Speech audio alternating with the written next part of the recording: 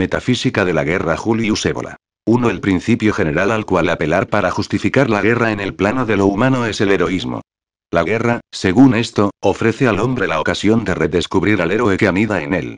Rompe la rutina de la vida cómoda y, a través de las más duras pruebas, favorece un conocimiento transfigurante de la vida en función de la muerte. El instante final en el cual un individuo debe comportarse como un héroe es el último de su vida terrestre y pesa infinitamente más en la balanza que toda su existencia vivida monótonamente en la agitación incesante de las ciudades. Esto es lo que compensa, en términos espirituales, los aspectos negativos y destructivos de la guerra que el paternalismo pacifista pone unilateral y tendenciosamente de relieve. La guerra, estableciendo y realizando la relatividad de la vida humana, estableciendo y realizando también el derecho de un más allá de la vida, tiene siempre un valor antimaterialista y espiritual. Estas consideraciones tienen un peso indiscutible y dejan cortas todas las demagogías del humanitarismo, los lloriqueos sentimentales y las protestas de los paladines de los inmortales principios y de la internacional de los héroes de la pluma. Mientras tanto, es preciso reconocer que para definir bien las condiciones por las cuales la guerra se presenta realmente como un fenómeno espiritual, se debe proceder a un examen ulterior, esbozar una especie de fenomenología de la experiencia guerrera, distinguir las diferentes formas y jerarquizarlas para dar todo su relieve al punto absoluto que servirá de referencia a la experiencia heroica. Para ello es preciso referirse a una doctrina que no tiene la estructura de construcción filosófica particular y personal, sino que es, a su manera, una referencia de hecho positiva y objetiva.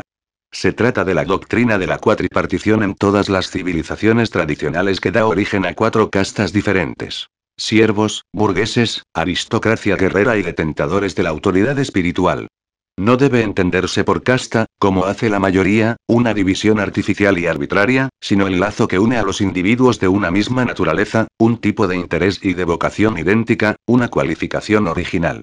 Normalmente, una verdad y una función determinada definen cada casta y no lo contrario. No se trata pues de privilegios y de formas de vida erigidas en monopolio y basadas en una constitución social conocida, más o menos, artificialmente. El verdadero principio del que proceden estas instituciones, bajo formas históricas más o menos perfectas, es que no existe un modo único y genérico de vivir su propia vida, sino un modo espiritual, es decir, como guerrero, burgués, siervo y, cuando las funciones y reparticiones sociales corresponden ciertamente a esta articulación, según la expresión clásica, estamos ante una organización procedente de la verdad y de la justicia. Esta organización se convierte en jerárquica cuando implica una dependencia natural, y con la dependencia a participación, de modos inferiores de vida de aquellos que son superiores, siendo considerado como superior toda personalización de un punto de vista puramente espiritual. Solamente en este caso, existen relaciones claras y normales de participación y subordinación, como lo ilustra la análoga ofrecida por el cuerpo humano. Allí donde no hay condiciones sanas y normales, cuando el elemento físico, siervos, o la vida vegetativa, el burgués, o la voluntad impulsiva y no controlada, guerreros, asumen la dirección o la decisión en la vida del hombre, aparece el caos. Pero cuando el espíritu constituye el punto central y último de referencia para las facultades restantes, a las cuales no les es negada por tanto una autonomía parcial, una vida propia y un derecho diferenciado en el conjunto de la unidad, allí aparece el orden. Si bien no debemos hablar genéricamente de jerarquía, aunque se trate de la verdadera jerarquía en la que quien está en lo alto y dirige es verdaderamente superior, es preciso hablar y hacer una referencia a los sistemas de civilización basados en una élite espiritual y en donde el modo de vivir del siervo, del burgués y del guerrero terminan por inspirarse en este principio para la justificación de las actividades en que se manifiestan materialmente. Por el contrario, se encuentra en un estado normal cuando el centro se desplaza y el punto de referencia no es el principio espiritual sino el de la clase servil, burguesa o simplemente guerrera. En cada uno de estos casos, si existe igualmente jerarquía y participación no se trata de algo natural. Se convierte en deformante y subversiva y termina por exceder los límites transformándose en un sistema en donde la visión de la vida, propia de un siervo, orienta y compenetra todos los elementos del conjunto social. En el plano político, este proceso involutivo es particularmente sensible en la historia de Occidente hasta nuestros días. Los estados de tipo aristocrático sacral han sido reemplazados por estados monárquico-guerreros, ampliamente secularizados y luego ellos mismos a su vez, han sido reemplazados y suplantados por estados apoyados sobre oligarquías capitalistas, casta de los burgueses y de los mercaderes, y finalmente por tendencias socialistas, colectivistas y proletarias que han encontrado su eclosión en el bolchevismo, casta de los siervos. Este proceso es paralelo al cambio de un tipo de civilización por otro, de un significado fundamental de la existencia a otra, si bien en cada fase particular de estos conceptos, cada principio, cada institución forma e imprime un sentido diferente, conforme a la nota preponderante. Esto es igualmente válido para la guerra. Y he aquí cómo vamos a poder abordar positivamente la tarea que nos propusimos al principio de este ensayo. Especificar los diversos significados que pueden asumir el combate y la muerte heroicas. Según se decante bajo el signo de una u otra casta, la guerra se justificaba por motivos espirituales, considerándose como una vía de realización sobrenatural y de inmortalización para el héroe, tema de la guerra santa, en el de las aristocracias guerreras se luchaba por el honor y por un principio de lealtad que no se asociaba al placer de la guerra por la guerra. Con el paso del poder a manos de la burguesía se produce una profunda transformación. El concepto mismo de nación se materializa. Se crea una concepción antiaristocrática y natural de la patria y el guerrero da paso al soldado y al ciudadano que lucha simplemente por defender o conquistar una tierra, estando los guerreros en general, fraudulentamente guiados por razones o primacías de orden económico o industrial. En fin, allí donde el último estadio ha podido ser alcanzado abiertamente, es en una organización en manos de siervos, tal como expresó perfectamente Lenin. La guerra entre naciones es un juego poril, una supervivencia burguesa que no nos atañe. La verdadera guerra, nuestra guerra, es la revolución mundial para la destrucción de la burguesía, y el triunfo de la clase proletaria. Establecido esto, es evidente que el héroe puede ser denominador común que abrace los tipos y significados más diversos. Morir, sacrificar su vida, puede ser válido solamente en el plano técnico colectivo, incluso en el plano de aquello que se llama hoy brutalmente material humano. Es evidente que no es en tal plano donde la guerra puede reivindicar un auténtico valor espiritual para el individuo, cuando éste se presenta no como material, sino, a la manera romana, como personalidad. Esto no se produce a no ser que exista una doble relación entre medio y fin, cuando el individuo es solo un medio en relación con la guerra y con sus fines materiales, sino simultáneamente, cuando la guerra y su entorno deriva como medio en relación con el individuo, ocasión o vía cuyo fin es la realización espiritual, favorecida por la experiencia heroica. Entonces existe síntesis, energía y máxima eficacia. En este orden de ideas y en función de eso que hemos dicho anteriormente, es evidente que todas las guerras no ofrecen las mismas posibilidades. Y ello en razón de analogías en absoluto abstractas, sino positivamente activas, según las vías, invisibles para la mayoría, que existen entre el carácter colectivo preponderante en los diferentes ciclos de civilización y el elemento que corresponde a este carácter en el todo de la entidad humana. Si la era de los mercaderes y siervos es aquella en la que predominan las fuerzas correspondientes a las energías que definen en el hombre el elemento prepersonal, físico, instintivo, telúrico o simplemente orgánico vital, en la era de los guerreros y en la de los jefes espirituales se expresan fuerzas que corresponden respectivamente, en el hombre al carácter y a la personalidad espiritualizada, realizada según su destino sobrenatural. Según todo lo que desarrolla de trascendente en el individuo es evidente que en una guerra, la mayoría no puede más que sentir colectivamente el despertar correspondiente, más o menos, con la influencia preponderante de esa guerra. En función de cada caso, la experiencia heroica conduce a puntos diversos y, sobre todo, de tres cienas. En el fondo, corresponden a las tres posibilidades de relación que pueden verificarse por la casta guerrera y su principio respecto a las otras articulaciones ya examinadas puede verificarse el estado normal de una subordinación al principio espiritual, en donde el heroísmo como desencadenamiento conduce a la supravida y a la supra-personalidad. Pero el principio guerrero puede ser un fin en sí rechazando reconocer aquello que hay de superior en él, entonces la experiencia heroica dará lugar a un tipo trágico, arrogante y templado como el acero, pero sin luz. La personalidad permanece, está incluso reforzada, como le ordena el límite de su lado naturalista y humano. Siempre este tipo de héroe ofrece una cierta garantía de grandeza y naturalmente, para los tipos jerárquicamente inferiores, burgueses o siervos, este heroísmo y esta guerra significan superación, elevación, y realización.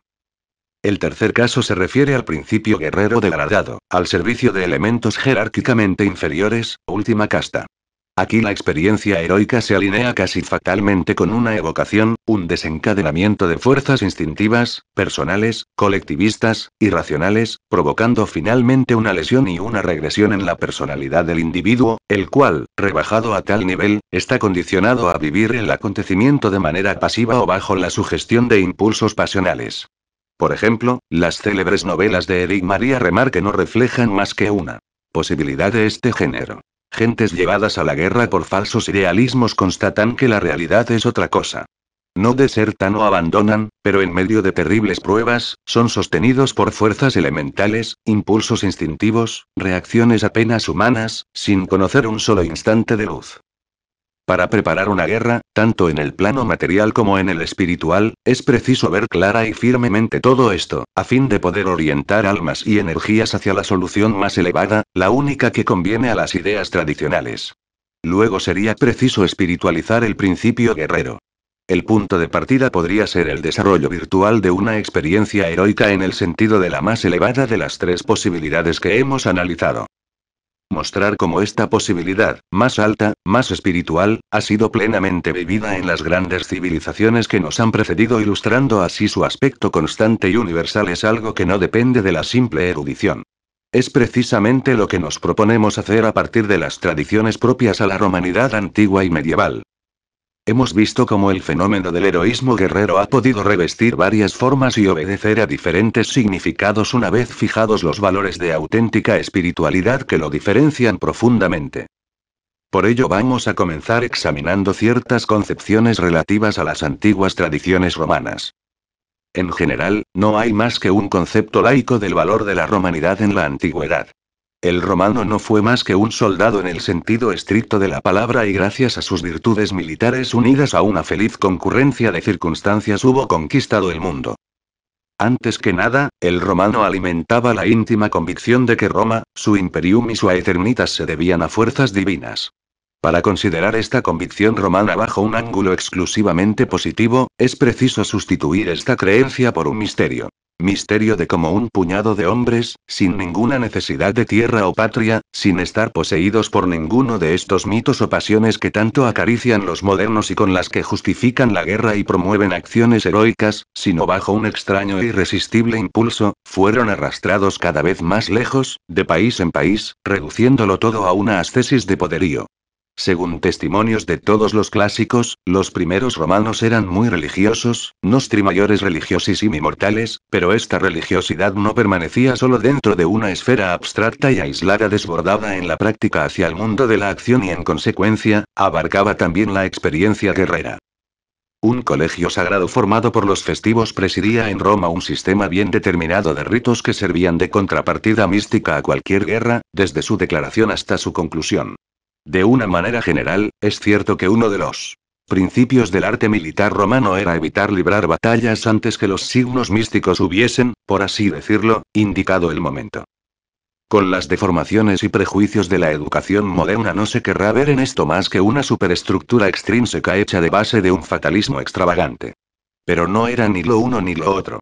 La esencia del arte augural practicado por el patriciado romano, así como otras disciplinas análogas de carácter más o menos idéntico en el ciclo de las grandes civilizaciones indo-europeas, no era descubrir el destino a base de una supersticiosa pasividad, sino, por el contrario, descubrir por adelantado los puntos de conjunción con influencias invisibles, para concentrar las fuerzas de los hombres y hacerlas más poderosas, actuando igualmente sobre el plano superior con el fin de barrer, cuando la concordancia era perfecta, todos los obstáculos y resistencias en el plano material y espiritual. Es difícil, pues, a partir de eso, dudar del valor romano, la ascesis romana de la potencia no era solo en su contrapartida espiritual y sacra, instrumento de la grandeza militar y temporal, sino también un contacto y una unión con las fuerzas superiores. Si fuese este el momento, podríamos citar numerosa documentación para basar esta tesis. Nos limitaremos sin embargo a recordar que la ceremonia del triunfo tuvo en Roma un carácter mucho más religioso que laico militar y numerosos elementos permiten deducir que el romano atribuía la victoria de sus dulces más a un fuerza trascendente, que se manifestaba real y eficazmente a través de ellos en su heroísmo e incluso por medio de su sacrificio, como en el rito de la devotio en el que los jefes se inmolaban, que a sus cualidades simplemente humanas. De esta forma, el vencedor, revistiendo la dignitas del dios capitalino supremo, aparte del triunfo, se identificaba con él, era su imagen, e iba a depositar en las manos de este el laurel de su victoria, en homenaje al verdadero vencedor. En fin, uno de tas orígenes de la apoteosis imperial, el sentimiento que bajo la apariencia del emperador se escondía un numen inmortal, está incontestablemente derivado de la experiencia guerrera. El imperador, originariamente era el jefe militar aclamado sobre el campo de batalla en el momento de la victoria, pero en ese instante aparecía también como transfigurado por una fuerza llegada de lo alto, terrible y maravillosa, que daba la impresión del numen. Esta concepción, por otro lado, no es exclusivamente romana, se la encuentra en toda la antigüedad clásico-mediterránea y no se limitaba a los generales vencedores, se extendía a los campeones olímpicos y a los supervivientes de los combates sangrientos del circo. En Eilade, el mito de los héroes se confunde con las doctrinas místicas, como el orfismo, identificando al guerrero vencedor con el iniciado, vencedor de la muerte. Testimonios precisos sobre un heroísmo y un valor emanaban más o menos conscientemente de las vías espirituales, benditos no solo por las conquistas materiales y gloriosas a donde conducían, sino también por su aspecto de vocación ritual y de conquista espiritual. Pasemos a otros testimonios de esta tradición que, por su naturaleza, es metafísica y en donde, en consecuencia, el elemento raza no puede tener más que una parte secundaria y contingente. Decimos eso, pues más adelante trataremos de la guerra santa que fue practicada en el mundo guerrero del Sacro Imperio Romano Germánico. Esta civilización se presentaba como un punto de confluencia creadora de tres elementos romano uno, cristiano otro y, uno último, nórdico. Respecto al primero, ya hemos hecho alusión a él en el contexto que nos interesa. El elemento cristiano se manifestará bajo los rasgos de un heroísmo caballeresco supranacional con las cruzadas. Queda el elemento nórdico. Con objeto de que nadie se llame a engaño al respecto, señalamos que se trata de un carácter esencialmente suprarracial, por lo tanto incapaz de valorizar o denigrar un pueblo en relación a otro. Para hacer alusión a un plano en el cual nos autoexcluimos de momento, nos limitaremos a decir que en las evocaciones nórdicas más o menos frenéticas que se celebran hoy en día a Usum del Pin y en la Alemania nazi, por sorprendente que pueda parecer, se asiste a una deformación y a una depreciación de las auténticas tradiciones nórdicas tal como fueron originariamente y tal como se perpetuaron en los príncipes que tenían por gran honor el poder denominarse romanos aún no siéndolo de raza. Por el contrario, para numerosos escritores racistas de hoy, nórdico no significa más que antirromano y romano tendría más o menos un significado equivalente a judío. Dicho esto, es interesante reproducir una significativa fórmula guerrera de la tradición celta. Combatid por vuestra tierra y aceptad la muerte si es preciso. Pues la muerte es una victoria y una liberación del alma. Idéntico concepto corresponde en nuestras tradiciones clásicas a la expresión mors triumpalis. En cuanto a la tradición realmente nórdica, nadie ignora lo relacionado con el Valhalla, literalmente. Reino de los elegidos. El señor de este lugar simbólico es Odin Wotan que nos aparece en la Inglinga Saga, como aquel que, por su sacrificio simbólico en el árbol del mundo, habría indicado a los héroes el modo de esperar el divino descanso en el lugar donde se vive eternamente sobre una cima luminosa y resplandeciente, más allá de las nubes. Según esta tradición, ningún sacrificio, ningún culto eran tan gratos a Dios, ni más ricos en recompensa en el otro mundo, como aquel realizado por el guerrero que combate y muere luchando. Aún hay más. El ejército de los héroes muertos en combate debe reforzar la falange de los héroes celestes que luchan contra el Ragnarok, es decir, contra el destino del obscurecimiento de lo divino que, según las enseñanzas, como en el caso de las clásicas, el Hesíodo, pesa sobre el mundo desde las edades más remotas. Encontramos este tema bajo formas diferentes en las leyendas medievales concernientes a la última batalla que librará el emperador jamás muerto. Aquí, para percibir el elemento universal, tenemos que sacar a la luz la concordancia de antiguos conceptos nórdicos, que, digamos de paso, Wagner desfiguró con su romanticismo ampuloso, confuso y teutónico, con las antiguas concepciones iranías y persas. Algunos se sorprenderán al saber que las famosas valquirias no son quienes recogen las almas de los guerreros destinados a Valhalla, sino la personificación de la parte trascendente a los guerreros cuyo equivalente exacto son las Frabasi que en la tradición irano-persa están representadas como mujeres de luz y vírgenes arrebatadas de las batallas personifican más o menos a fuerzas sobrenaturales en que las fuerzas humanas de los guerreros fieles al dios de la luz pueden transfigurarse y producir un efecto terrible y turbulento en las acciones sangrientas. La tradición iranía contenía igualmente la concepción simbólica de una figura divina, Mitra, concebida como el guerrero sin sueño, que al frente de las Frabasi de sus fieles, combate contra los emisarios del dios de las tinieblas, hasta la aparición del Saosyant, señor de un reino que ha de llegar de paz triunfal. Estos elementos de la antigua tradición indoeuropea repiten siempre los temas de la sacralidad de la guerra y del héroe que no muere realmente, sino que pasa a ser soldado de un ejército místico en una lucha cósmica, interfiriendo visiblemente con los elementos del cristianismo que puede asumir la divisa vita est militia superterram y reconocer que no solamente con la humildad, caridad, esperanza y demás, sino también con una especie de violencia, la afirmación heroica, es posible acceder al reino de los cielos. Es precisamente esta convergencia de temas como la nación, la concepción espiritual de la gran guerra propia de la Edad Media de las Cruzadas y que vamos a analizar decantándonos por adelantado sobre el aspecto interior individual siempre actual de estas enseñanzas. 3. Examinamos de nuevo las formas de la tradición heroica que permiten a la guerra asumir el valor de una vía de realización espiritual en el sentido más riguroso del término, es decir, de justificación y finalidad trascendental. Ya hemos hablado de las concepciones que, desde este punto de vista, fueron las del antiguo mundo romano. Luego hemos dado un vistazo a las tradiciones nórdicas y al carácter inmortalizante de toda muerte realmente heroica sobre el campo de batalla. Nos hemos referido necesariamente a estas concepciones para llegar al mundo medieval, a la Edad Media como civilización resultante de la antítesis de tres elementos. El primero romano, seguido del nórdico y finalmente del elemento cristiano. Nos proponemos ahora examinar la idea de la sacralidad de la guerra, tal como fue concebida y cultivada a lo largo de la Edad Media.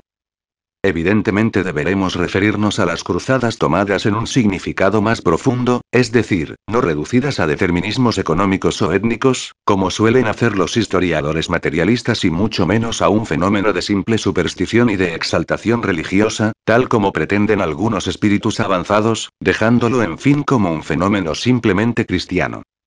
Sobre este último punto no hemos de perder de vista la relación justa entre fin y medio. Se dice también que en las cruzadas la fe cristiana se sirvió del espíritu heroico y de la caballería occidental, cuando precisamente fue todo lo contrario. La fe cristiana y sus fines relativos y contingentes de lucha religiosa contra el infiel, de liberación del templo y de Tierra Santa, no fueron más que los medios que permitieron al espíritu heroico manifestarse, afirmarse, realizarse en una especie de ascesis distinta de la contemplación, pero no menos rica en frutos espirituales. La de los caballeros que dieron sus fuerzas y su sangre por la guerra santa no tenían más que una idea y un conocimiento teologal de lo más vago sobre la doctrina por la cual combatían. Por otra parte, el contexto de las cruzadas era rico en elementos susceptibles de conferir un valor y un significado superiores. A través de las vías del subconsciente, mitos trascendentales reafloran en el alma de la caballería medieval. La conquista de la Tierra Santa situada más allá de los mares presenta, en efecto, infinitamente más referencias reales que las supuestas por los historiadores con la antigua saga según la cual en el lejano oriente, en donde se alza el sol, se encuentra la ciudad sagrada en donde la muerte no reina sino que los valerosos héroes que saben esperarla gozan de una celestial serenidad y de una vida eterna. Por encontrar otra analogía diremos que la lucha contra el Islam revistió, por su naturaleza, desde el principio, el significado de una prueba ascética. No se trata de combatir por los reinos de la tierra, escribió Kluger, el célebre historiador de las cruzadas, sino por el reino de los cielos. Las cruzadas no tuvieron como resorte a los hombres sino a Dios, no se deben pues considerar como el resto de los acontecimientos humanos. La Guerra Santa debía, según la expresión de un antiguo cronista, compararse con el bautismo semejante al fuego del purgatorio antes de la muerte. Los papas y los predicadores comparaban simbólicamente aquellos que morían en las cruzadas con el oro tres veces ensayado y tres veces purificado por el fuego que podía conducir al Dios Supremo. No olvidéis jamás este oráculo, decía San Bernardo, ya vivamos, ya moramos, del Señor somos. Qué gloria para vosotros salir de la confrontación cubiertos de laureles. Pero qué alegría más grande la de ganar sobre el campo de batalla una corona inmortal, oh, condición afortunada, en la que se puede afrontar la muerte sin temor, incluso desearla con impaciencia y recibirla con el corazón firme. La gloria absoluta estaba prometida al cruzado, gloria a Solue, en provenzal, pues, aparte de la imagen religiosa se le ofrecía la conquista de la supravida, del estado sobrenatural de la existencia. Así Jerusalén, fin codiciado de la conquista, se presentaba simbólicamente, como ciudad celeste e inmaterial, pero también como una ciudad terrestre, es decir, que ante este doble aspecto la cruzada tomaba un valor interior, independiente de todos sus aparatos, sus soportes y sus motivaciones aparentes.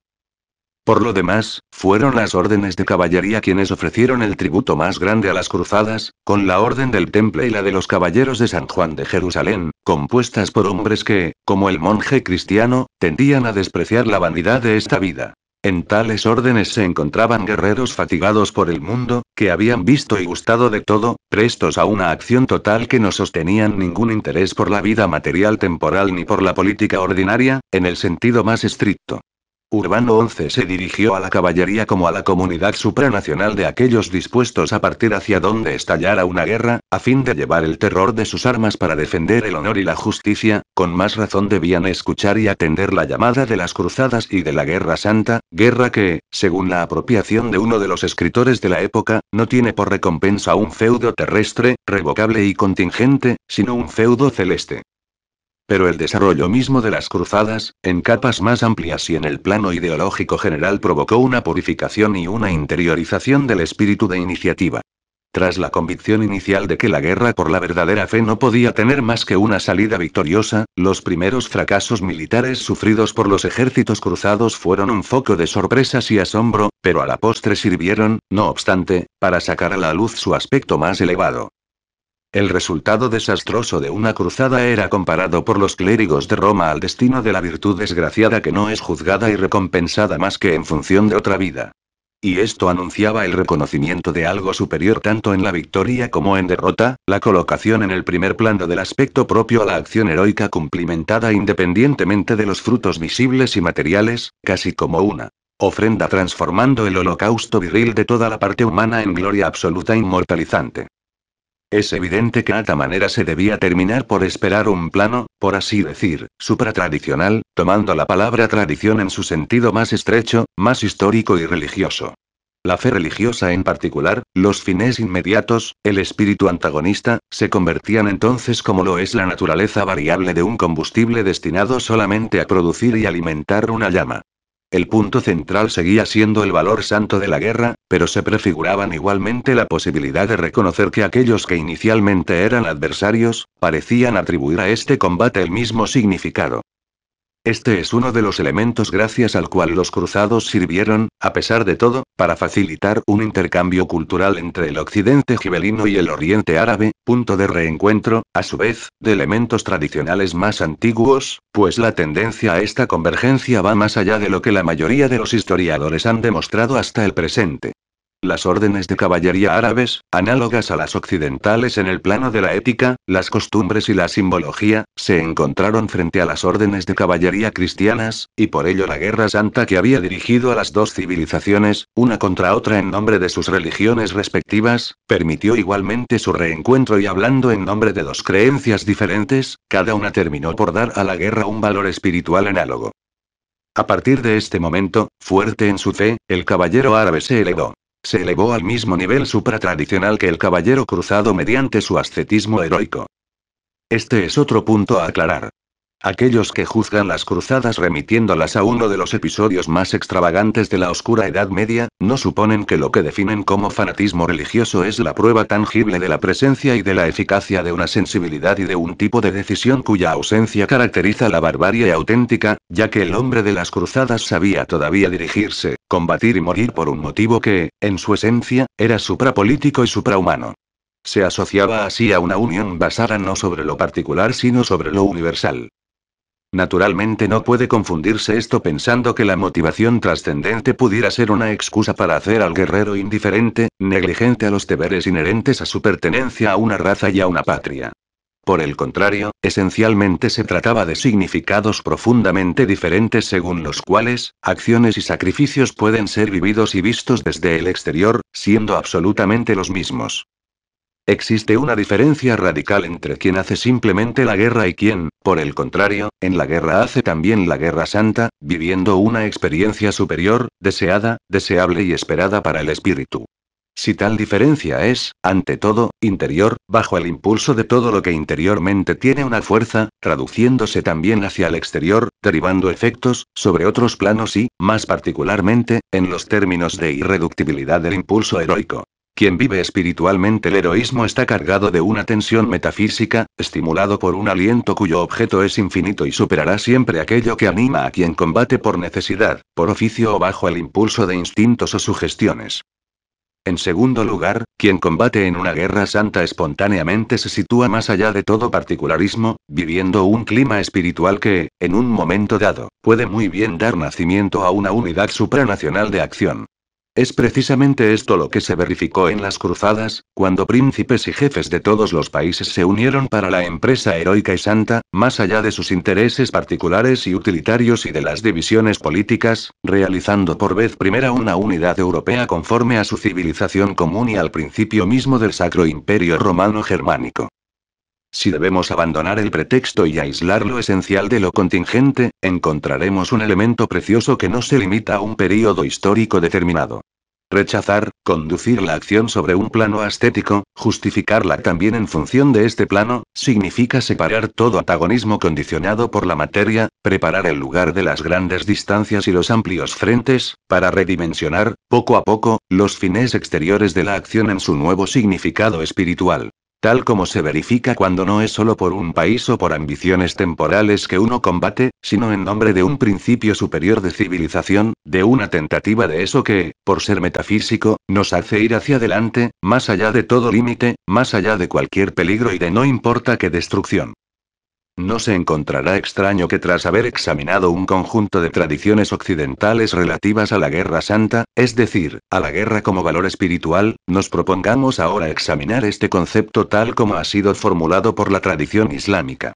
En efecto, nuestro fin, tal como hemos señalado en varias ocasiones, es poner de relieve el valor objetivo de un principio a través de la demostración de su universalidad, de su conformidad quid ubique, quid imnibus et quod semper. Solamente así, se puede tener la sensación de que ciertos valores tienen una categoría absolutamente diferente de lo que pueden pensar unos y otros, sino también que en su esencia son superiores a las formas particulares que han asumido para manifestarse en las tradiciones históricas. Contra más se reconozca la correspondencia interna de estas formas y su principio único, más se podrá profundizar en su propia tradición, hasta poseerla y comprenderla íntegramente partiendo de su punto original y especialmente metafísico. Históricamente es preciso subrayar que la tradición islámica, en el tema que nos interesa, es de alguna manera heredera de la persa, es decir, de una de las más altas civilizaciones indo-europeas. La concepción mazdeísta del dios de la luz y de la existencia sobre la tierra como una lucha incesante para arrancar seres y cosas al poder del antidios, es el centro de la visión persa de la vida. Es precisamente capital considerarla como la contrapartida metafísica y el fondo espiritual de las hazañas guerreras en cuyo apogeo tuvo lugar la edificación persa del imperio del rey de reyes. Tras la caída de la civilización árabe medieval, bajo formas más materiales y en ocasiones exasperadas, pero sin anular jamás el motivo original de la espiritualidad islámica, todos estos contenidos subsistieron. Así nos referiremos a tradiciones de este género, sobre todo porque ponen de manifiesto un concepto muy útil para aclarar ulteriormente el orden de ideas que nos proponemos exponer. Se trata del concepto de la guerra santa, distinto de la pequeña guerra, pero al mismo tiempo ligada a esta última según una correspondencia particular. La distinción se basa en una die del profeta, el cual, llegado de una expedición guerrera, había dicho, Hemos vuelto de la pequeña guerra santa para la gran guerra santa. La pequeña guerra corresponde a la guerra exterior, a la que, siendo sangrienta, se hacía con armas materiales contra el enemigo, contra el bárbaro, contra una raza inferior frente a la cual se reivindicaba un derecho superior o en fin, cuando la empresa estaba dirigida por una motivación religiosa, contra el infiel. Por terribles y trágicas que puedan ser las incidencias, por monstruosas como sean las destrucciones, no deja de ser menos cierto que esta guerra, metafísicamente, es siempre la pequeña guerra. La Gran Guerra Santa es, al contrario, de orden interior e inmaterial, es el combate que se libra contra el enemigo, el bárbaro o el infiel que cada uno abriga en sí y que ve aparecer en sí mismo en el momento en que ve sometido todo su ser una ley espiritual. Tal es la condición para esperar la liberación interior, la paz triunfal que permite participar en ella aquel que está más allá de la vida y de la muerte, pues en tanto que deseo, tendencia, pasión, debilidad, instinto y lasitud interior, el enemigo que está en el hombre debe ser vencido, quebrado en su resistencia, encadenado, sometido al hombre espiritual. Se dirá que esto es simplemente ascetismo. La gran guerra santa es la ascesis de todos los tiempos. Y alguno estará tentado de añadir, es la vía de aquellos que huyen del mundo y que, con la excusa de una lucha interior, se transforman en un tropel de pacifistas. No es nada de todo esto. Tras la distinción entre las dos guerras, expongamos ahora su síntesis. Lo propio de las tradiciones heroicas es prescribir la pequeña guerra, es decir, la verdadera guerra, sangrienta, como un instrumento para la gran guerra santa, hasta el punto de que, finalmente, las dos no terminan siendo más que una sola cosa. Así, en el Islam, guerra santa, guía y vía de Dios son utilizados indiferentemente. Quien combate lo hace sobre la vía de Dios. Un célebre adí característico de esta tradición dice, la sangre de los héroes está más cerca del Señor que la tinta de los sabios y las oraciones de los devotos. Aquí también, como en las tradicionales de las que ya hemos hablado, la acción asume el exacto valor de una superación interior y de acceso a una vida liberada de la obscuridad, de lo contingente, de la incertidumbre y de la muerte. En otros términos, las situaciones y los riesgos inherentes a las hazañas guerreras provocan la aparición del enemigo interior, el cual, en tanto que instinto de conservación, dejadez, crueldad, piedad o furor ciego, sirve como aquello que es preciso vencer en el acto mismo de combatir al enemigo exterior. Esto muestra que el aspecto central está constituido por la orientación interior, la permanencia inquebrantable de aquello que es espíritu en la doble lucha sin participación ciega, ni transformación en una brutalidad desencadenada, sino, por el contrario, dominio de las fuerzas más profundas, control para no estar jamás arrastrado interiormente sino permaneciendo siempre como dueño de sí mismo, lo que permite afirmarse más allá de cualquier límite.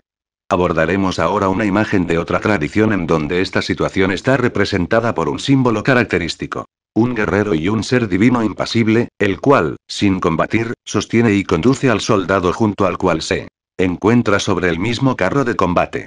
Es la personificación de la dualidad de los principios que el verdadero héroe posee, ya que las emanaciones tienen siempre algo de eso sagrado de lo que es portador.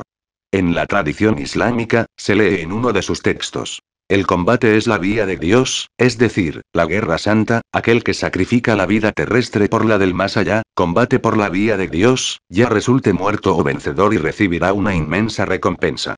La premisa metafísica según la cual se prescribe Combatid según la guerra santa a aquellos que hagan la guerra, matadles donde los encontréis y aplastadlos, no os mostréis débiles, no les invitéis a la paz, pues la vida terrestre es solamente fuego que se extingue y quien se muestra avaro no es avaro más que consigo mismo. Este último principio evidentemente puede compararse a aquel otro evangélico. El que quiere salvar su propia vida la perderá y quien la pierda obtendrá la vida eterna, confirmado por este texto. ¿Qué hicisteis vosotros que creéis cuando se os ordenó? ¿Descended a la batalla para la guerra santa? Os quedasteis inmóviles. ¿Habéis, pues, preferido este mundo a la vida futura por lo tanto vosotros? ¿Esperáis de nosotros recompensa y no las dos supremas, victoria o sacrificio? Este otro fragmento es digno de atención. La guerra os ha sido ordenada, aunque os disguste. Pero algo que es bueno para vosotros puede disgustaros y gustaros lo que es malo. Dios sabe, entonces que vosotros no sabéis nada.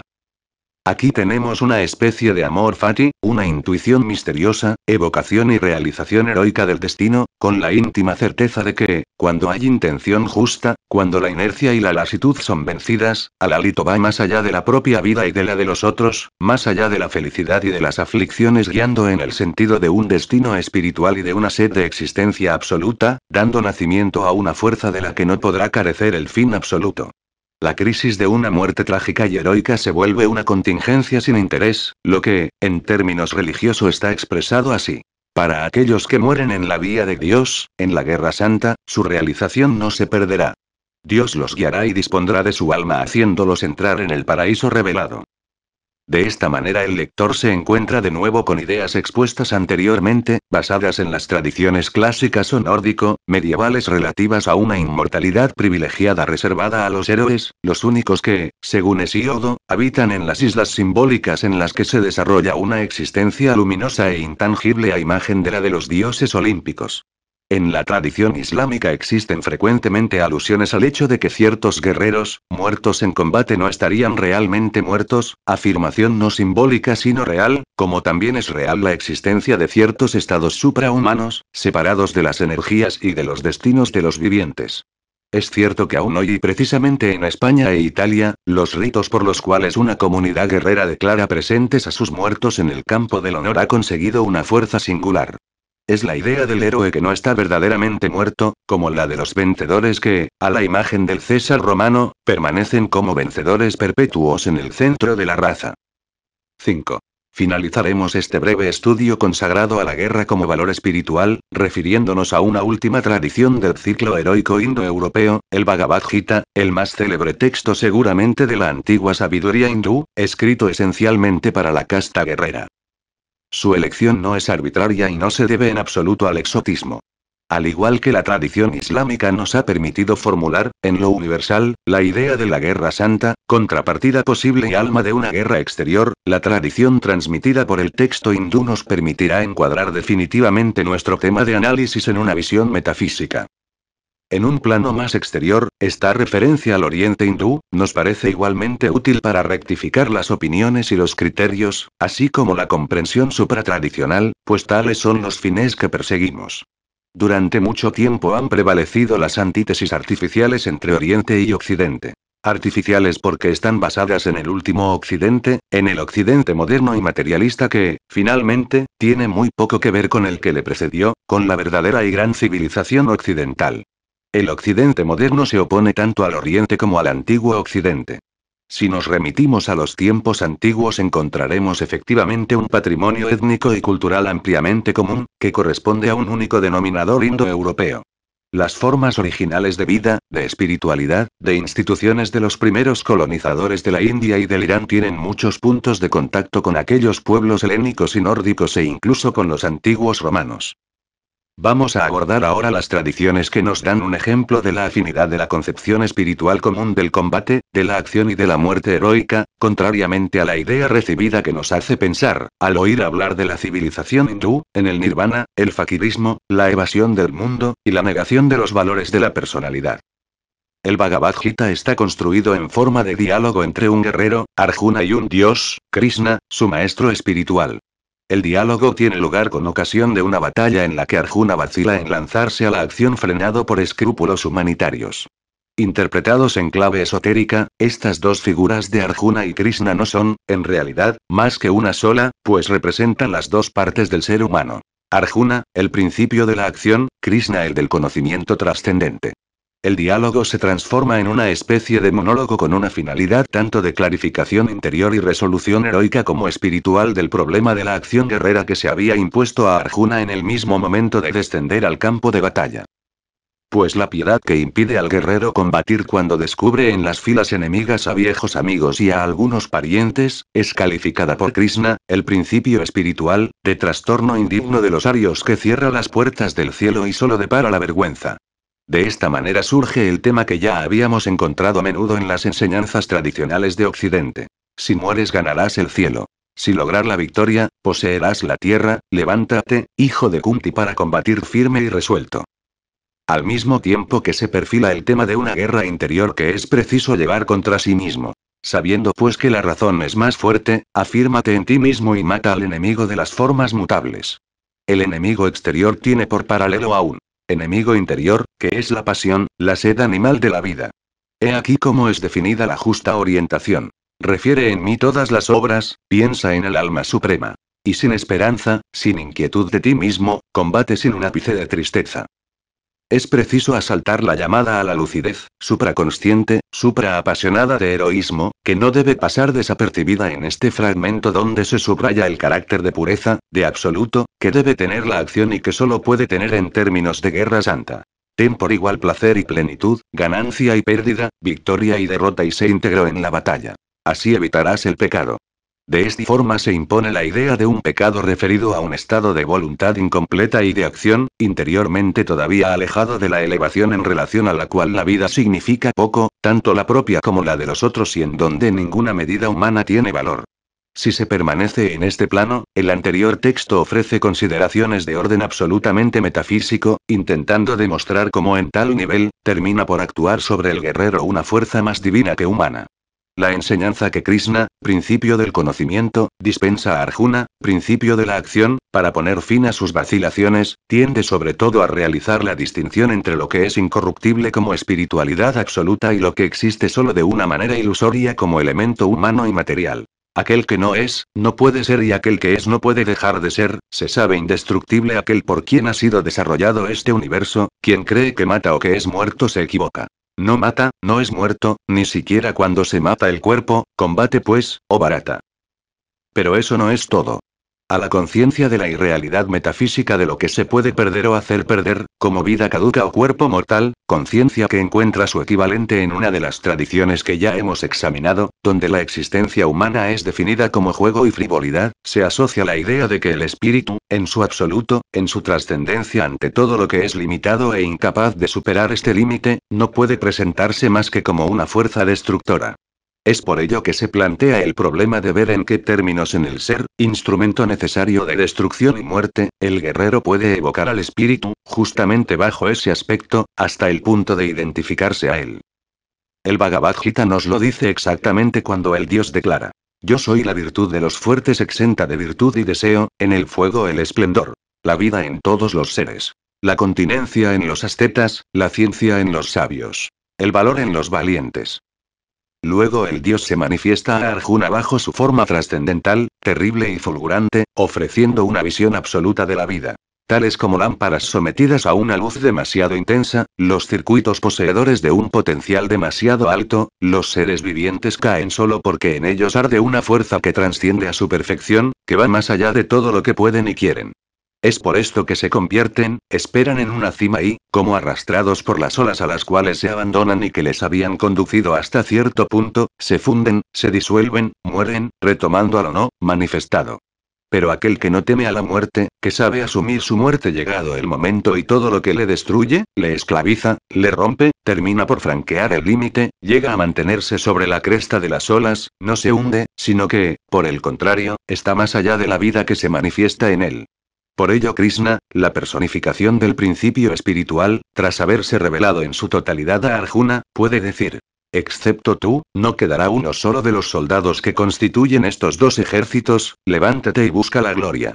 Triunfa sobre tus enemigos y adquiere un gran imperio. Yo estoy seguro de su pérdida. Son solo el instrumento, mátalos pues. No te preocupes. Combate y vencerás a tus rivales. Encontramos pues la identificación de la guerra, con la vía de Dios que ya habíamos visto en páginas precedentes. El guerrero cesa de actuar en tanto persona. Una gran fuerza no humana, a este nivel, transfigura la acción, la vuelve absoluta y pura, allí precisamente donde debe ser más extrema. He aquí una imagen muy elocuente, perteneciente a esta tradición. La vida es como un arco, el alma como una flecha, el espíritu como la flecha proyectada que se clava en el blanco. Es una de las más elevadas formas de la justificación metafísica de la guerra, una de las imágenes más completas de la guerra como guerra santa. Para terminar esta digresión sobre las formas de la tradición heroica tal como nos la han presentado épocas y pueblos diversos añadiremos algunas palabras a modo de conclusión. Esta excursión en un mundo que podrá parecer a algunos insólito y carente de relaciones con el nuestro, no la hemos hecho por curiosidad o para desplegar nuestra erudición. La hemos hecho, al contrario, con el fin preciso de demostrar lo sagrado de la guerra, es decir, como la posibilidad de justificar la guerra espiritualmente y su necesidad constituye, en el sentido más elevado del término, una tradición. Esto es algo que se ha manifestado siempre y en todo lugar en los ciclos ascendentes de todas las grandes civilizaciones. En este punto debemos regresar a aquello que escribimos al principio de este estudio, mostrando que existen diversas maneras de ser héroe incluso aquella animal y su personal, por lo tanto lo que cuenta no es tanto la posibilidad vulgar de lanzarse a la batalla y sacrificarse, sino el espíritu según el cual se puede vivir una aventura de este género. Nosotros tenemos, a partir de ahora, todos los elementos para precisar, entre los diferentes aspectos de la experiencia heroica, aquellos que pueden considerarse como absolutos, que pueden verdaderamente identificar la guerra con la vía de Dios, y en los héroes, puede dejar entrever realmente una manifestación divina. Pero es preciso recordar también que el punto donde la vocación guerrera aspiraba realmente a una altura metafísica, reflejando la plenitud de lo universal, es aquel en que una raza tendía a una manifestación y a una finalidad igualmente universales. Lo que significa que no pueda sino predestinar a esta raza o imperio. Pues solo el imperio como tal es un orden superior en donde reina la Pax Triumpalis, reflejo terrestre de la soberanía del supramundo, comparable a las fuerzas que, en el terreno del espíritu manifiestan las mismas características de pureza, de poderío, de inelutabilidad, de trascendencia en relación a todo lo que de patos, pasión y limitación humana, se refleja en las grandes y libres energías de la naturaleza. Y Conciliatore, 15 de marzo de 1969.